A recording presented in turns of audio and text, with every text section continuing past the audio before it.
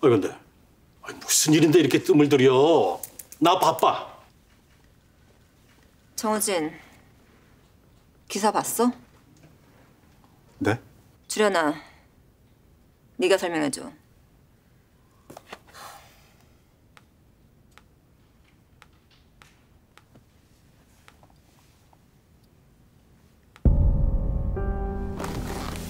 뭔데 대체?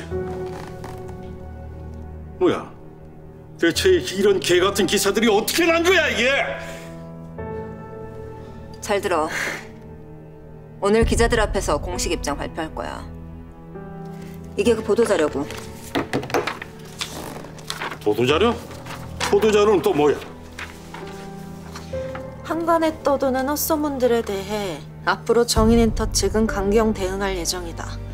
이는 배우로서의 생명이 걸린 중요한 문제이니만큼 선처럼 없다. 어, 엄마, 우진이 어떠니? 그러니까 오늘부터 꼼짝 말고 집에만 붙어 있어. 섣불리 나갔다가 일만 더 크게 만들지 말고. 정우재인. 그런데 너 이 기사들 다 사실이야?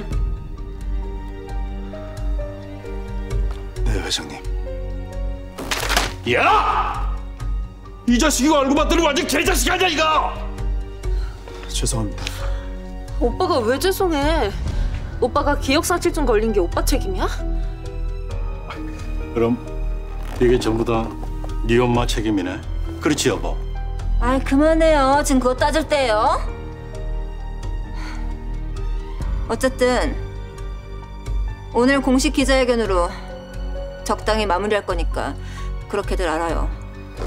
꼭 이 방법밖에 없을까요? 그럼 다른 방법 있어? 정우진, 내 말 명심해.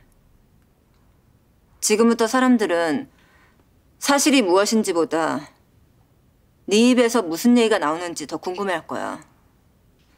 그러니 답은 이미 나온 거겠지? 엄마 말이 맞아, 오빠. 오빤 가해자가 아니라 피해자인 척해야 돼. 야망을 위해 어쩔 수 없이 전 여친과 헤어진 가해자 정우진이 아니라 성공을 시기한 전 여친에게 고통받는 피해자 정우진으로.